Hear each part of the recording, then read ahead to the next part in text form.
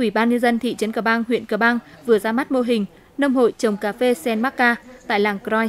Mô hình được thành lập trên cơ sở triển khai chủ trương của Ban dân vận tỉnh ủy Gia Lai về thực hiện mô hình nông hội trên địa bàn tỉnh với sự tham gia của 40 thành viên đều là người Ba Na ở làng Croy, thị trấn Cờ Bang.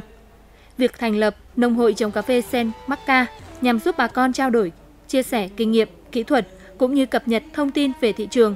khoa học để nâng cao chất lượng sản phẩm phù hợp với nhu cầu yêu cầu của thị trường,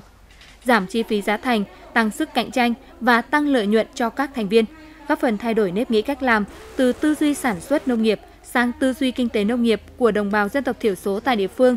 Đồng thời thông qua hoạt động của mô hình nông hội này còn giúp tạo dựng mối liên kết chặt chẽ giữa người dân với doanh nghiệp trong tiêu thụ sản phẩm theo chuỗi giá trị.